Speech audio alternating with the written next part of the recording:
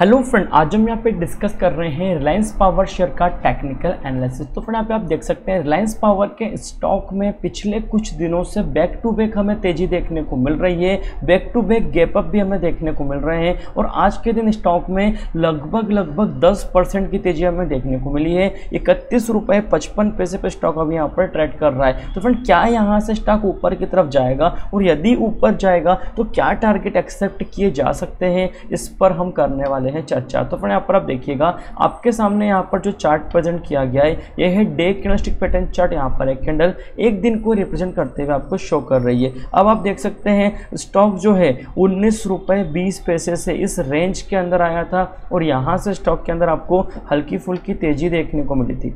ये देखिएगा। फिर से स्टॉक में गिरावट होती है, फिर तेज़ी से स्टॉक ऊपर गया था, लगभग लगभग पच्चीस रुपये तक जाने के बाद फिर गिरावट हुई थी। और फाइनली एक बड़ी तेज़ी स्टॉक में आती हुई दिखाई दी थर्टी थ्री रुपये तक की। और उसके बाद और बड़ी गिरावट हमें यहाँ पर देखने को मिली। कहाँ तक? फिर से उन्नीस रुपये तक स्टॉक हमें यहाँ पर गिरता हुआ दिखाई देता है। फिर स्टॉक के अंदर तेज़ी आती है, जो कि स्टॉक को ऊपर लेकर के जाती है। कहाँ तक? थर्टी थ्री रुपये के आसपास फिर स्टॉक में होती है गिरावट, ये देखिएगा और यहाँ पर हमने देखा, फिर स्लो मूव करते हुए स्टॉक ने ये जो रेड लाइन आपको दिखाई दे रही है 200 दिनों के एक्सपोनेंशियल मूविंग एवरेज लाइन यहाँ पर सपोर्ट जनरेट किया है।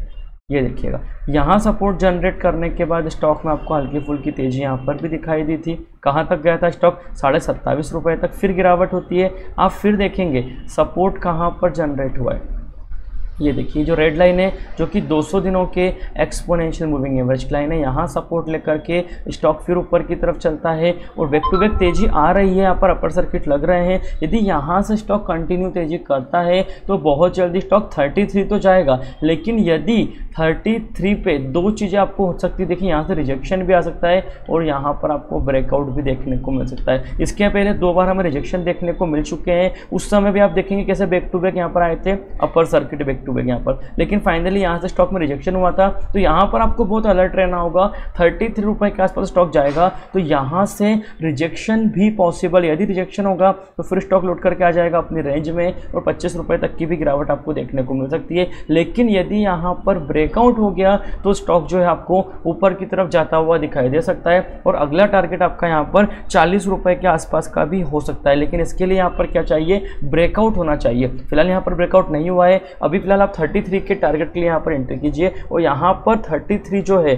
उसके लिए अगर आप फ्रेश एंट्री का सोच रहे हैं तो आपको स्टॉप लॉस यहाँ पर बहुत ही मिनिमम रखना होगा, क्योंकि आपका जो टारगेट है, वो मात्र कितना है, डेढ़ से दो रुपए का। तो नीचे की तरफ़ ज़्यादा से ज़्यादा तीस पैसे का आप स्टॉप लॉस रख करके ही एंट्री कीजिएगा, या फिर अवॉइड भी किया जा सकता है अभी एंट्री को। तो फ्रेंड ये था हमारा technical view Reliance Power share को लेकर के इसी तरह के और भी वीडियो पाने के लिए चैनल को अभी लाइक शेयर और सब्सक्राइब करना बिल्कुल भी ना भूलें thank you so much for watching this video.